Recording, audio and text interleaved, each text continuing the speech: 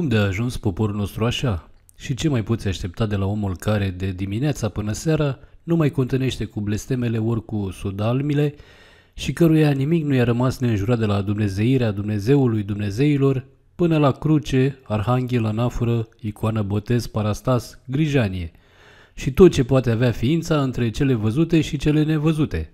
Nu cumva năravurile astea sunt atât de grețoase, sunt și ele de vină pentru urgia care a căzut asupra noastră? Întrebarea e, cum de s-a ticăloșit până într-atât poporul nostru? Ura e un venin care slăbește și ucide mai întâi pe cel care urește, fie că e vorba de un om, fie că patima s-ar întinde asupra unui neam întreg. Românii de azi înjură cumplit.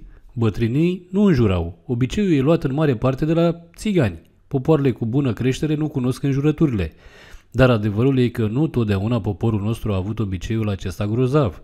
Bătrânii din vremea când biserica era într-adevăr casa Domnului, iar omul își pregătea din vreme până și cămașa cu care avea să se îngroape, nu cunoștea sudalmile și alte vorbe spurcate. Când vreun moșneac se supăra pe cineva, vorba cea mai aspră era, du-te la tătari. Ce tătarii făcuși? Iar când venea vorba de colindul ori comandul cuiva, asta era lucru mare. Noi aveam modul nostru de a binecuvânta lucrul mâinilor noastre și de a-l dărui lui Sărsăilă.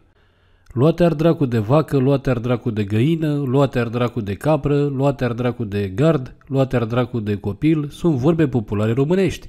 Și apoi mănânci lapte de la vaca dracului, mănânci ouă de la găina dracului, crești copilul dracului, scrie într-una din cărțile lui Nicodim Mândiță, în oglinda duhovnicească de faptul că în timp ce o mamă spunea aceste vorbe, a venit dracul și a luat copilul din mână. Și a zis așa, am venit să-mi iau prada, așa că vorbele se cântăresc.